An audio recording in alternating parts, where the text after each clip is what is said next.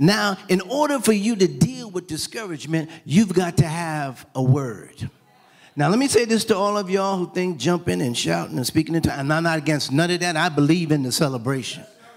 But I'm tired of the rut of coming, going, and doing the same thing. All right? Church cannot become a crisis center. All right? Uh, this has to be a way of life. I thank God for the worship team, thank God for the praise leader, but you ought to bring your fire in the room. If you enter the way the Bible says, because there is a protocol to God.